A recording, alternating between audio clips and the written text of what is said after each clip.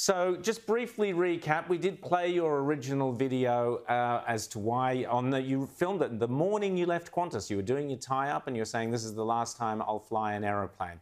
So, basically, tell us what happened following that video and how you wound up in Canberra last week.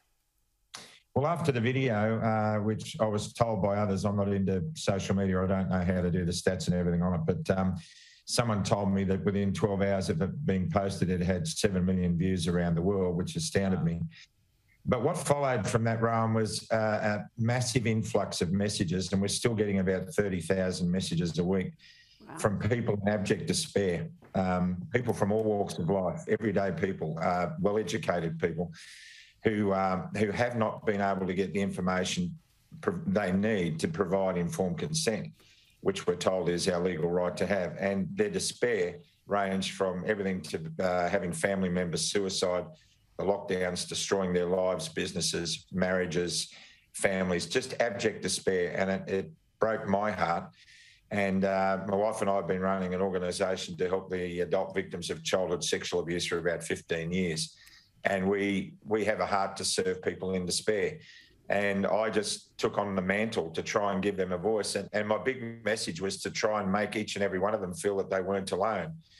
And um, and what happened in uh, Canberra at the uh, protest was monumental in proving to them that they weren't alone, that they're part of a massive family of various walks of life, different educational backgrounds, service backgrounds, and also um, you know a few different agendas. But a, a lot of very unhappy people coming together to try and support one another. Rita. What do you say to people who, who say this is a fringe group because we've got vaccination rate now close to 95% in this country, so this is a very tiny group? Or does the group encompass those who have had the vaccine but are very much against mandates and the compulsory nature of it? Oh, thanks for that question, Rita. You, you nailed it with the tail end of your question. Uh, I shared the soundstage with people who have been vaccinated.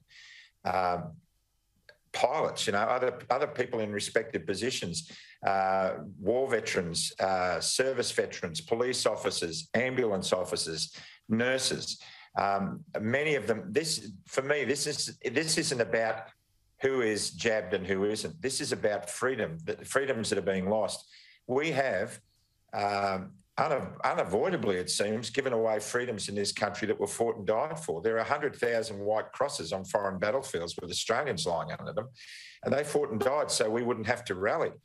Uh, and if we did, we had the freedom to do it. So this is not about, these are not anti vaxxers. These are people who are fighting for freedom that governments are taking away. You guys cover this all the time.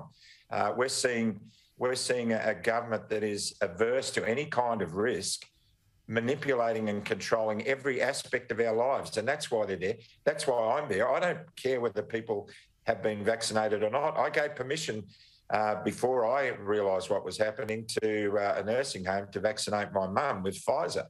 Uh, and, and then after that, I was put under pressure to do it for the mandate. And when I started realising that there was so much about this we didn't know, I couldn't give an informed consent. James.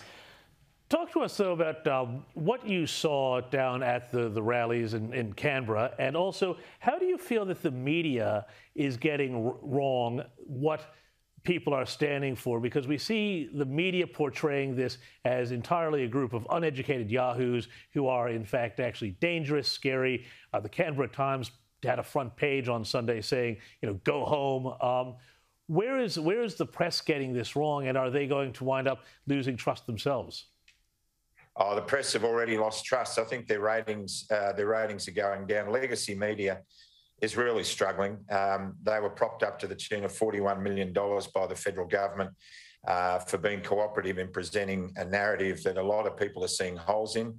Um, so the press, the press are getting it wrong. Look, I had one uh, political editor from one of the main uh, mainstream uh, networks um, put in a, a, a fairly factual representation of one of the earlier rallies we had there and I, I contacted him to thank him uh, for being pragmatic in his approach, and uh, and he was he was great. And I managed to get an interview with him uh, during one of the rallies we had earlier in the week um, behind the group. Uh, it was a short 10 second grab. You know, you guys know how that works. And I just had to present the basic reason why most of Australians were there. Um, so I think uh, legacy media is complicit. I really do. I, I, you know, I used to follow. I used to follow the average mainstream thing all my life. I mean, um, I'm just an average, every average everyday Aussie, and uh, legacy media has.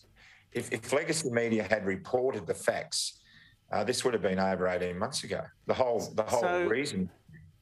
Sorry, Graham. So just tell us, um, you know, for example, you have become a, a, figurehead to many people because you are articulate.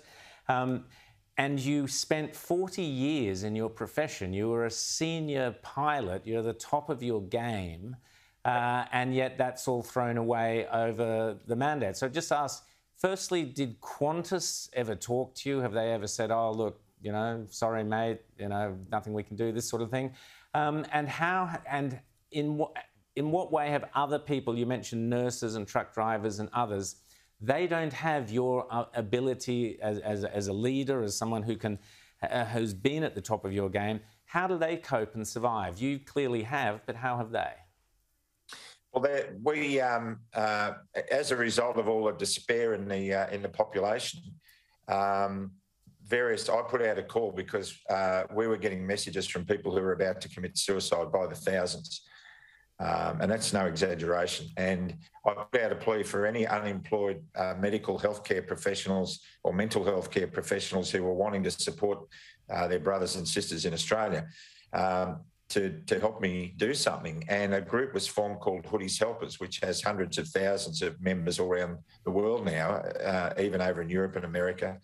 Uh, South Africa, people who are just supporting others in despair and making them feel like they do have a voice and making them feel like they're part of a family.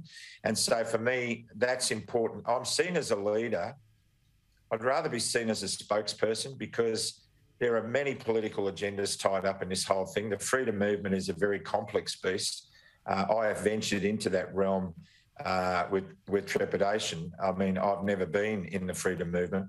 There are fringe elements in there, but the the, the people I'm speaking for, like war veterans, uh, the nurses and doctors and everything, they just see me as articulate in a way that I can try and get their message across. And if that's what I'm, if that's what I'm empowered to do, then I will do that. Uh, I'm absolutely against any radical behaviour, subversive behaviour, uh, anything like that. This has to be done with compassion and love and with peace because that's how Australia is. Um, when, when our backs to, to the wall, we, we, we harness incredible energy and spirit. And I want that to be harnessed to bring this country to a much better place. Rita, very quickly. Do you have any hopes of flying again?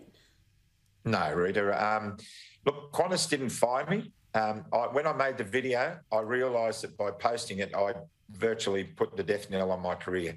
I did it to give the young pilots who have still got a career ahead of them a chance to fight the mandates and keep going and, and live into their dream. And that's the whole purpose I've been doing this. Um, I've been approached to run for politics and all that sort of stuff. I'm not interested in the political arena. I'm, I'm an authentic individual who is living in the spirit of the Anzacs, and I just want to promote that. It, it's an honour to represent these people. But as for flying again, look, 6 million passengers over 12 million miles, 36,000 flying hours. I've done enough. I'm tired. My body. Graham Hood. Well, I'm, I'm, sure many of us probably flew on your planes at one time or another, and thank you uh, if we did and for looking after us and our safety. Uh, great to talk to you, Graham Hood, and uh, keep up the great work, and thanks for coming on Outsiders this morning. Thanks for the voice, guys, and God bless you. Love it.